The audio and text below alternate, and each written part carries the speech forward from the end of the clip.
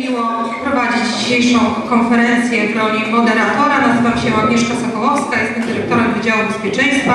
Wspólnie ze mną będzie prowadził konferencję pan Jerzy Sypuła, dyrektor Wydziału Zdrowia Urzędu Marszałkowskiego.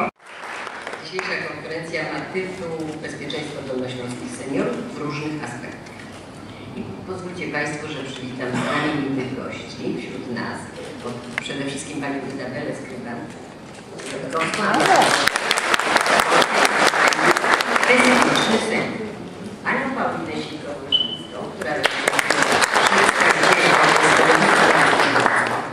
na starszego brygadiera Andrzeja Szcześniaka, dolnośląskiego komendarza dość długo, pana Adama Skrzypka, naczelnika Wydziału Prewencji Komendy Ryszarda Smolińskiego, wojewódzkiego konsultanta z dziedziny dość ciekawej, socjologii. Witam bardzo serdecznie Panią Ewę Żywuską, radną Witam Pana Krzysztofa Skrzyniarza, prezesa Dolnośląskiego Wolnego Ochotniczego. Mam taki cytat, który przygotowały mi koleżanki, że doskonałe bezpieczeństwo i nietykalność własności oraz osoby to jest prawdziwa wolność społeczna. I do tego będziemy dążyć różnymi sposobami. Kalendarzu pojawia się coraz więcej dni, które mają stanowić, stanowić okazję do celebrowania dojrzałego, starszego. W Polsce seniorzy stanowią dzisiaj 13% populacji. Proszę sobie wyobrazić, że w 2060 roku obywatele po 65 roku to będzie 1 trzecia społeczeństwa. Patrzcie jaka w nas siła. Dlatego dzisiaj jest podnoszona kwestia szeroko pojmowanego bezpieczeństwa osób starszych. Bardzo jest istotna. E, Na, nie będziemy się skupiać na bezpieczeństwie jako groźbie odniesienia obrażeń wskutek wypadków. Warto tu zwrócić uwagę na bezpieczeństwo zdrowotne osób starszych i świadomość konieczności dbania o siebie. Dziś chcemy zwrócić Państwu uwagę m.in. na najczęstsze zagrożenia mogące przytrafić się, się Państwu w domu, w domach. Oszustwa, wyłudzenia, niejednokrotnie, które prowadzą do utraty dorobku całego życia. To niestety z mediów wiemy, że to jest nasza codzienność. Ale powiemy również, jakie niebezpieczeństwo nie- niosą za sobą ci cisi zabójcy typu tlenek węgla, o którym będzie Pan komendant. Szanowni Państwo, i samorząd województwa w związku z tym, że uznał, że ta sprawa jest bardzo ważna, tutaj nie ukrywam, że Pani dyrektor Agnieszka Sokołowska bardzo zabiegała o to, chociaż nie jest seniorem. Ja mam teraz przy sobie, więc ze względu może też na mnie. Nie, kieruję do Państwa. Kieruję do Państwa program pod nazwą Bezpieczny Senior. On jest realizowany w ramach programu Bezpieczny Dolnośląska. Ślązak zaczynaliśmy od dzieci, a skupimy się tym razem na seniorach. Rozpoczniemy nasze spotkanie od naszego gościa specjalnego, pani Izabeli Skryban-Dziewiątkowskiej, wokalistki zespołu Te- Tercet Egzotyczny, która, tak jak już dzisiaj mówiliśmy, została ambasadorką naszej kampanii Bezpieczny Senior. Ja chciałam się podzielić z Państwem swoim doświadczeniem, bo musimy się czuć bezpieczni. Nie, że wtedy wychodzimy z domu i się boimy, że ktoś nas napadnie albo ktoś nas okradnie. Nie o to chodzi. Tylko można uniknąć kilku sytuacji, e, które były dla mnie na przykład bardzo niebezpieczne. I tak na przykład musimy mieć przede wszystkim oczy z tyłu, z przodu, z boku, ze wszystkich, jak gdzieś idziemy czy coś robimy. Ja na przykład miałam kilka takich sytuacji, gdzie ostrzegam że Państwo też mogą uniknąć tego podobnych sytuacji, zwłaszcza kobiety. Wsiadamy do samochodu, zamykajmy drzwi. Bo takie dwa lata temu zdarzyło się, że na skrzyżowaniu na czerwonych światłach skoczył do mnie facet jakiś. Były drzwi otwarte. Wiecie, że mam nóż i mówię, proszę Pani, dokąd Pani jedzie? A ja przytomna na szczęście mówię do banku, bo nie mam w ogóle pieniędzy, nie mam przy sobie. Skąd mi to, to chyba ze strachu to powiedziałam, no ale to nie, go nie uspokoiło, pojedzie pani tam, gdzie ja pani każe jechać. No to nogi mi się zaczęły trząsnąć, no to zaczęłam migotać cała. I cały czas on mówi, jedziemy prosto, jedziemy prosto w kierunku e, Piłsudskiego. No ale na tych skrzyżowaniach swobodna i czerwone światło, coś mnie natknęło, chyba, no, chyba mój zawód mi w tym wszystkim pomógł, bo udałam się zemdlałam. No jak zemdlałam, no to zielone światło, zaczęły samochody trąbić i on uciekł w ten sposób. To takie, no to, ale jak gdyby były drzwi zamknięte, wsiadamy do samochodu, zamykamy drzwi. Tak samo w podobny sposób miałam torebkę mm, właściwie na skrzyżowaniu. Były drzwi niezamknięte z samochodu. Łatwa sprawa. Otwiera drzwi, bierze torebkę, ucieka. Nie odsuwajmy szyby za nisko bo w podobny sposób też byłam napadnięta e, i szprejem mi oczy zaszprejował, o, bo chciał pieniędzy. Tak samo jak całe lata to już mam doświadczenie, jak jeździliśmy, do Ameryki z paradą polskich gwiazd na Jasio Wojewódka, ten największy menażer, który sprowadzał e, zespoły do Ameryki, to zawsze nas ostrzegał i stamtąd do domu przeniosą to do Polski. Słuchajcie, zwłaszcza w Nowym Roku, w Nowym- Jorku, uważajcie, uważajcie, miejcie zawsze dolara przy sobie, bo wyskoczy mi stąd jakiś bandzior z nożem, bo jak powiem, me one dollar, a nie dasz tego dolara, to cię zacznie, zabije. No i tak to przeniosło w tej chwili e, w polskich sytuacjach. Zawsze złotówkę czy dwa, dwa złote mam w kieszeni, czy w samochodzie, żeby nie, mnie nie uszkodził mi, jak tam chciał mieć mi samochód, ale nie zgodzi, to nie zawsze. To jest przy, przychylnie widziane, że nie pozwalam mieć. Tak samo też e, zaczepi ktoś człowieka, dać tą złotówkę, to ten się uspokoi. Czuje się potraktowany po prostu. No i wiele, wiele takich podobnych sytuacji, tak samo do domu. Na przykład kiedyś puściłam e, osobę, podejrzana była osoba, więc skąd też ta moja fan- fantazja, ale właśnie takie sytuacje te można nawet przemyśleć wcześniej.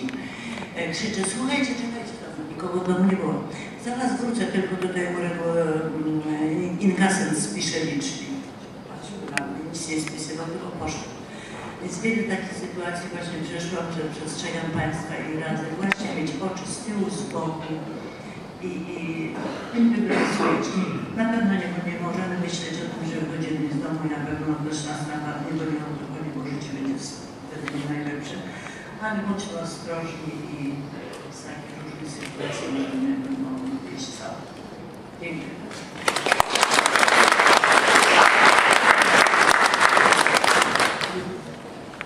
Proszę Państwa, telewizyjny klub seniora emitowany w telewizji polskiej we Wrocławiu w każdą sobotę od 90 już 10 lat. My mówimy w tym programie o mm, aktywności, o zdrowiu i o bezpieczeństwie, przede wszystkim bezpieczeństwie seniorów, to takim szeroko pojętym. Oczywiście y, do rozmów y, o metodzie na wnuczka, też y, bardzo popularnej ostatnio i na inkasenta, i na urzędnika, i na pomoc socjalną, i nawet na dotacje, jak się okazuje. Y, Do rozmów i do ostrzegania przed konsekwencjami takich y, działań zapraszamy ekspertów. Panią Małgosię Majewską z Wydziału Prewencji naszej wrocławskiej Policji o bezpieczeństwie nad wodą. Opowiada często Pan Krzysztof Skrzyniarz z Wodnego Ochotniczego. Y, O zdrowiu y, opowiada dr y, Ryszard Smoliński. Pani dr Beata Jarosz była przed chwilą też na sali. To są wszystko ludzie, nasi stali eksperci, którzy mówią Państwu, jak żyć bezpiecznie po prostu. Bo bezpieczeństwo, jeśli chodzi o to, te działania kryminalne, to oczywiście jest sprawa jasna, należy się wystrzegać. O i nasza największa gwiazda Maria Bielska wróciła, czyli prowadząca telewizyjny klub seniora. Yy, co tydzień spotykają się z Państwem y, i opowiadają o tym, jak to naprawdę czasami bardzo fajnie być y, seniorem, ileż to rzeczy można w tym wolnym czasie robić. Ale wracając do meritum tego bezpieczeństwa. Mówimy o y, przestępstwach, tak? Wiadomo, że metoda na wnuczka, która też była pokazana w tych y, spotach w kampanii społecznej przygotowanej wspólnie z y, Urzędem Marszałkowskim. Autorem y, obu tych spotów jest Piotr Wąsiński, y, pomysłodawca, inicjator telewizyjnego klubu seniora, który jako junior wymyślił, że właśnie najfajniej jest zrobić program dla seniorów, dla ludzi starszych. Właśnie człowiek młody może z tymi starszymi ludźmi coś dobrego wykreować. Piotr Wąsiński, o tych paniach, o których już wspomniałam, które występujecie naszych programach, mówi moje dziewczyny. Ja y, czasami z zazdrością mówię, że jego dodatkowe mamy, bo pierogów y, przepysznych, które dostajemy przy większości programów, to nie zliczę. Bezpieczeństwo to także na przykład wiedza o tym, jak robić zakupy w internecie. To jest wiedza o tym, jakie zagrożenia czekają na nas po drugiej stronie w sieci. Gdy robimy zakupy, gdy przelewamy rachunki do banku. Uczymy tego, jak y, robić zakupy w ogóle, czyli jakie prawa konsumenckie, krótko mówiąc, y, przysługują seniorom. To też jest rodzaj y, zabezpieczenia bytu, bo mieliśmy w programach historię pani Kazimiery, która nieopatrznie poszła, bo jest samotna na spotkanie y, ze sprzedawcą garnków. Kupiła zupełnie bezwartościowy komplet garnków za koszmarne pieniądze.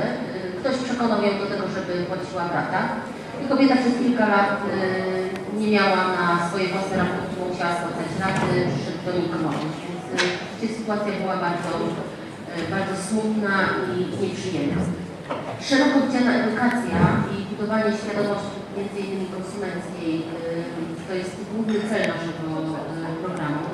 Bo to, że ostrzegamy przed oszustami, to, że ostrzegamy przed tym, żeby nie otwierać drzwi obcym, ostrzegamy przed tym, jak się zabezpieczyć nad wodą albo w podróży, jak zabezpieczyć mieszkanie, to jest jedno. A drugie, to jest wiedza o tym, co nam grozi tak teoretycznie z rzeczy zupełnie na pierwszy rzut oka niegroźnych, czyli właśnie jeśli chodzi o zakupy czy przelewy przez jeśli chodzi na przykład o kupowanie, branie leków, jeśli chodzi o y, na przykład agresję w rodzinie albo rodzaj przemocy psychicznej, którą staramy się na przykład ukrywać y, przed światem.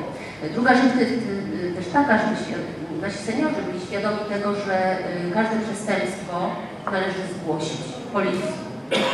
Nie chować tego, bo często bohaterowie naszych programów mówią, że oni się po prostu wstydzą, że byli naiwni, że byli łatwowierni, że dali się oszukać w jakiś głupi, zupełnie banalny sposób komuś, kto przyszedł powiedział, że jest kominiarzem, tak? I okradł w tym czasie mieszkania, oni nawet nie zapytali, dlaczego kominiarz nie ma sprzętu.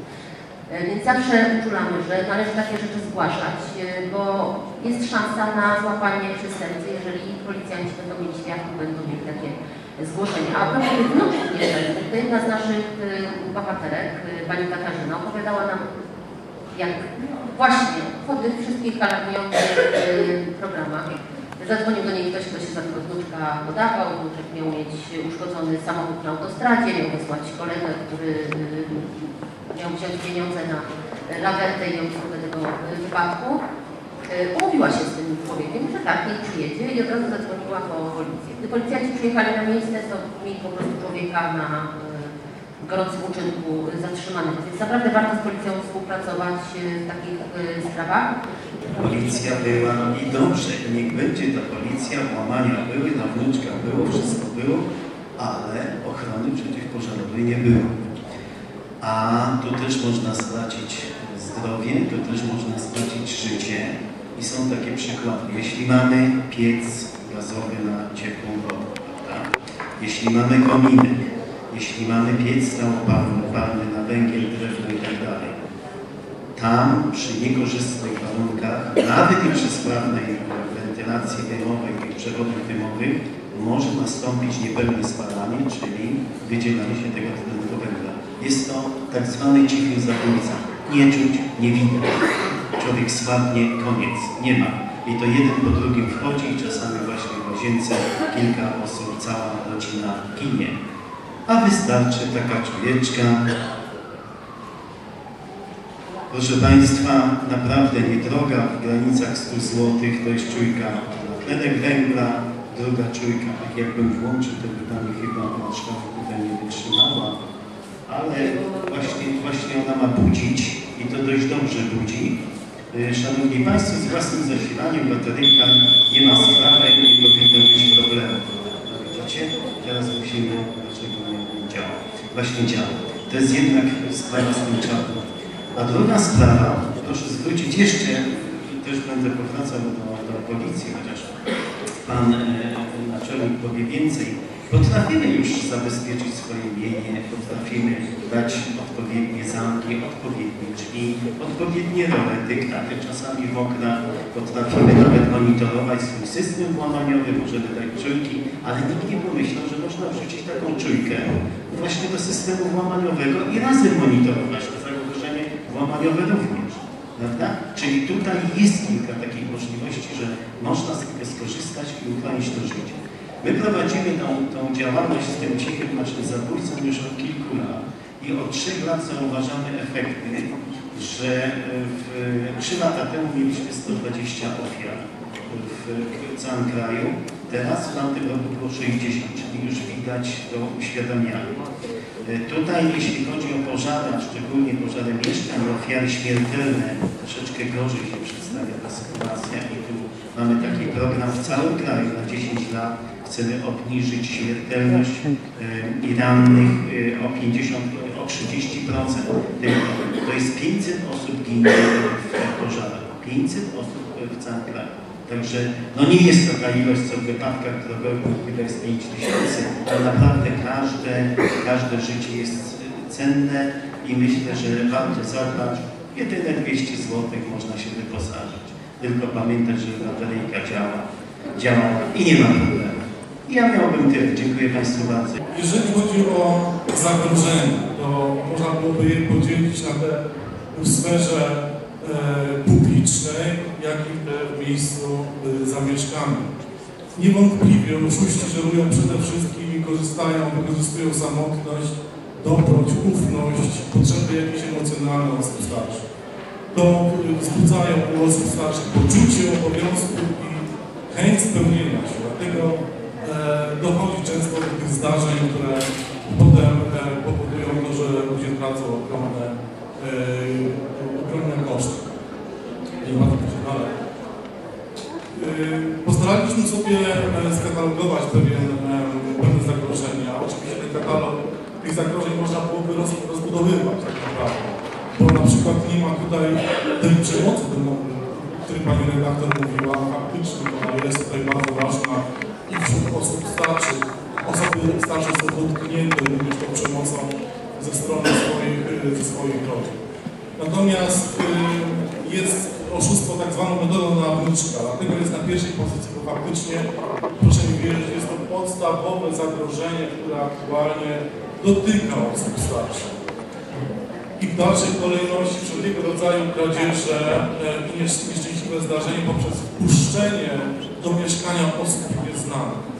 To jest kolejna rzecz. Z tym nierozwiązane, nie- związana jest, e, zakup okazyjnych towarów od tak zwanych domokrążców. To też jest efekt wpuszczania do, do mieszkań osób e, przypadkowych. E, I to, co się dzieje w tej przestrzeni publicznej, czyli bankomaty, wyrwy e, torebek, e, nieroztropne pobieranie pieniędzy, przeliczanie ich pod bankomatami, pozwalanie na to osoby postronne e, zaglądały nam przez, e, przez ramię, albo liczenie pieniędzy pod bankomatami, to powoduje, że oszuści, przestępcy starają się wykorzystać takie właśnie momenty. Wyrwy torebek, które zdarzają się również na ulicach, e, y, właśnie, właśnie osoby starsze padają ofiarami tychże przestępstw. Bo przecież e, osoba w podeszłym wieku nie rzuci się w pogoń za sprawcą, nie będzie goniła. Dlatego osoba starsza jest łatwym e, tutaj popełnieniem przestępstw. Kradzieże e, tu informacyjnie tylko wzrasta ilość e, oszustw metodą nadludzka. Bez liczb jest to najpierw I dla przypomnienia, jest pewien schemat działania e, oszustów metodą nadludzka. E, I pomimo tego, że ludzie doskonale sobie zdają sprawę, jak to wygląda w tej chwili, e, media przekazują te informacje, spoty, e, kampanie społeczne, nawet w telenowelach pojawiają się te informacje, przemycane są te, te zdarzenia, to pomimo tego osoby starsze stają się ofiarami tych przestępstw. A zaczyna się pr- prozaicznie. E, Oszuści szukują e, swoje ofiary w książkach telefonicznych. Co prawda w tej chwili, jak myślę, książek telefonicznych już się nie, nie drukuje, natomiast funkcjonują jeszcze e, książki telefoniczne z lat ubiegłych.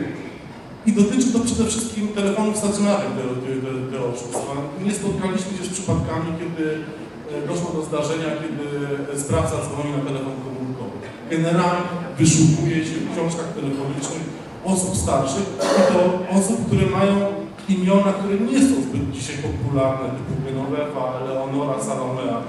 W tej chwili się dzieciom nie nadaje takich imion.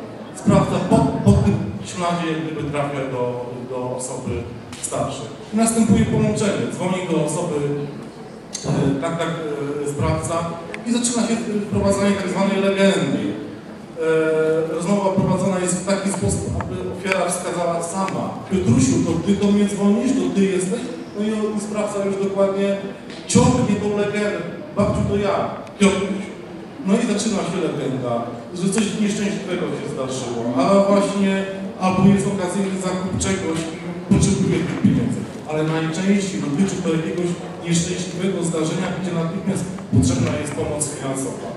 I kiedy tak naprawdę y, y, sprawca wywiera ogromną presję czasu, y, żeby natychmiast to, te pieniądze przekazać, do tego dochodzi element, babciu nie mogę przyjść osobiście, ponieważ właśnie jestem na komendzie policji i można sprawę załatwić albo pomóc, ale trzeba szybko te pieniądze przekazać i przyjdzie do Ciebie osoba, mój kolega czy koleżanka, przekaż proszę te pieniądze i proszę mi wierzyć.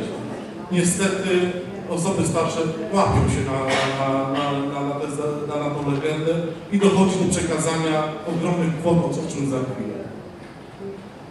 Bardzo proszę dalej. Ale ponieważ e, nasi seniorzy coraz bardziej są wyedukowani i, czują, że coś jest na rzeczy, e, mogę wrócić do tego poprzedniego slajdu, bo jest ważne, e, oszuści modyfikują oczywiście swoje e, legendy i w tej chwili chodzą e, do oszustwa metodą na inkasenta, na, poli, na policjanta, żeby uwiarygodnić to zdarzenie, wprowadza się do legendy element policji lub innej instytucji godnej zaufania. Najczęściej wygląda to tak, że kiedy e, ofiara orientuje się, że, że coś jest na rzeczy, rozłącza się i następuje kolejne połączenie. Tu e, przedstawia się człowiek, że jest policjantem z tej takiej komendy e, i że właśnie Pani, wiemy, że Pani przed chwilą był telefon, e, wiemy, że oszust chce Panią oszukać e, i może Pani nam pomóc poprzez przekazanie pieniędzy, jeżeli się po raz drugi połączy, to proszę przekazać, zatrzymamy go na gorącym uczynku przestępstwa.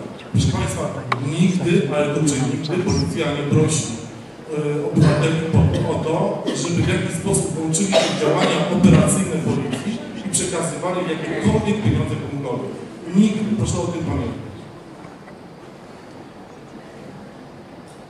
O torebkach już była mowa, trzeba to zrobić przy tych sytuacjach.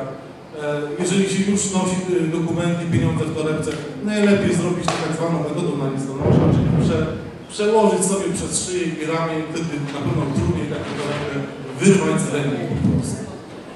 E, PIN nie sprzedam, to często się spotykamy z takimi sytuacjami przy marketach, gdzieś w okresie świąt, kiedy nagle jesteśmy nagabywani przez różnego rodzaju osoby, że są w bardzo trudnej sytuacji, a jest okazja, bo mają drogocenny e, przedmiot, zegarek, pierścionek. E, Dla uwiarygodnienia ściągają z ręki ten, tenże zegarek, pierścionek i niestety dochodzi do przekazania e, marką lub innej rzeczy zupełnie wartościowej za realne e, pieniądze.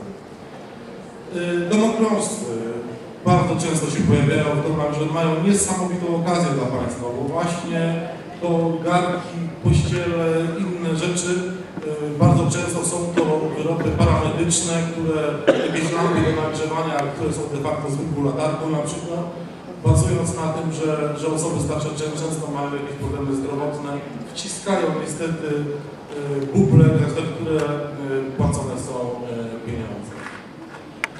Czytactwo, zupełnie osobny osobna rzecz, która no, wzbudza zawsze u człowieka jakieś emocje, bo jeżeli podchodzi z dzieckiem albo puka do drzwi, mówisz, nie Boże, e, to jakieś te mm, rozterki etyczne, e, no, no jakieś pojawiają się, tak? Z tego czasu z Komendą Miejską Policji Wrocławiu, ze Strażą Miejską e, we Wrocławiu prowadzili taką kampanię społeczną Nie dawaj na ulicy. Wychodzimy z założenia, że są instytucje powołane do pomocy osobom potrzebującym i to one powinny udzielać tej pomocy.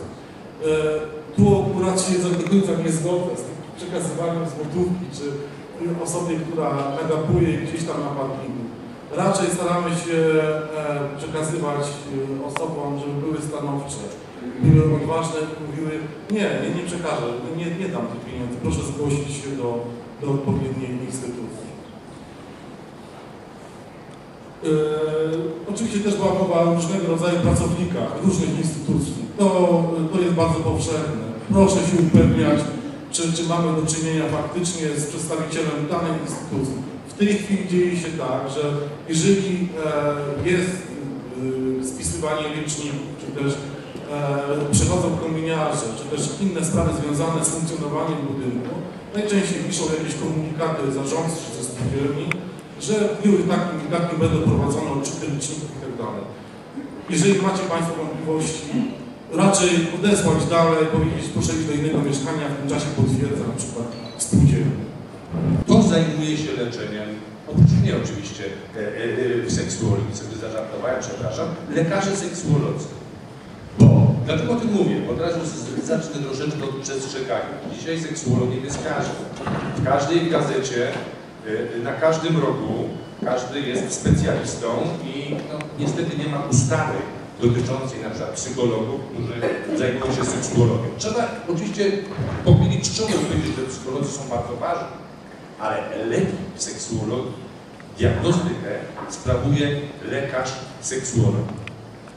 I kończąc króciutko, mam nadzieję, że może będą jakieś pytania, chciałem powiedzieć też o tym i zacznę troszeczkę tak jak wszyscy przestrzegać. Są seks shopy, jest internet, gdzie można dzisiaj kupić wszystko. Tylko, że 90% sprzedawanych tam produktów to jest kostka mydła zamieniona na tabletkę wiagry. To są często oszukane rzeczy. Leczmy się u lekarzy, diagnozujmy się u lekarzy, a oni niosą realną, prawdziwą pomoc, a nie będziemy narażeni na niebezpieczeństwa związane z zakupem poza apteką i poza wskazaniem lekarskim leków, które są bezpieczne. I tym, tym akcentem chciałbym Państwu życzyć seksualnego spełnienia, a kto się nie spełnia, do seksuologa, lekarza marsz. Ja pozwolę sobie za- zaznaczyć jeszcze jeden aspekt, o którym tutaj dzisiaj e, no, pokrótce była mowa. Dane osobowe. Szanowni Państwo, chroncie swoje dane osobowe. A co to takiego jest? Imię, nazwisko, adres zamieszkania, PESEL. Nie podawajcie danych, nie udostępniajcie tych danych przez telefon, internet. To jest tak naprawdę Wasza tożsamość i pamiętajcie, raz udostępnione te dane właśnie przez media typu internet, e, telefon, tak naprawdę mogą spowodować, że zostaniecie Państwo oszukani. Przecież ile mamy tak naprawdę przykładów, tutaj też była dzisiaj o tym mowa, e, czy też podpisywania umów właśnie z fałszywymi danymi osobowymi. Ja bardzo Państwa przestrzegam, i zachęcam, ja jestem też, e, występuję w Urzędzie Marszałkowskim w roli administratora bezpieczeństwa informacji, czyli osoby, która zajmuje się ochroną danych. E, Jeżeli mielibyście Państwo jakiekolwiek pytania, problemy związane chociażby, nie wiem, podpisywanie umów w banku, e, czy właśnie udostępnianie tych danych, to ja zachęcam. Śmiało możecie Państwo do mnie zawsze zadzwonić. Bezpieczeństwo nad wodą. Każdy z nas wie, jak się zachować w lesie. O tym się mówi. To są do tego programy, różnego rodzaju akcje. Uczymy dzieci, bo czym skorupka za młodą, ale seniorzy wiedzą najlepiej.